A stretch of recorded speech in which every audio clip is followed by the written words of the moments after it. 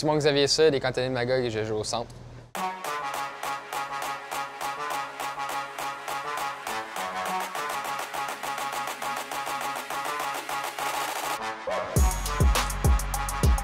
Ben, dans le fond, mes parents, c'était des bons athlètes.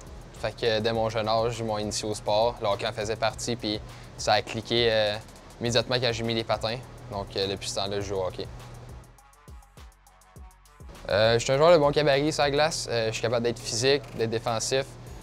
Euh, je contrôle bien le, le puck, puis en zone offensive, je peux créer des, des bons jeux. Victoire réussie pour les cantonniers. On s'amène un lancé, c'est bloqué, le retour et le but! Les cantonniers ouvrent la... Euh, mes principales forces, c'est euh, ma capacité physique ma grandeur sur la glace.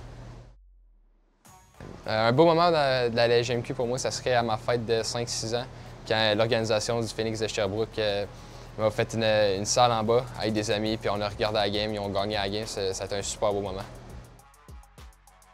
Moi, un joueur à qui je pourrais me comparer, ce serait Andy Kopitar.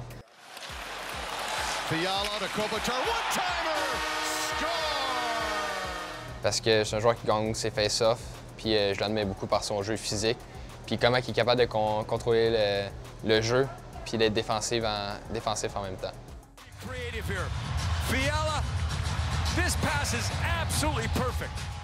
Euh, d'être repêché dans, dans la GMQ, ça serait vraiment un rêve. Là, depuis, depuis mon jeune âge, je regarde ça, puis je trouve que les joueurs sont super bons tous. Fait que de jouer là-dedans, d'être repêché, ça serait ex- exceptionnel.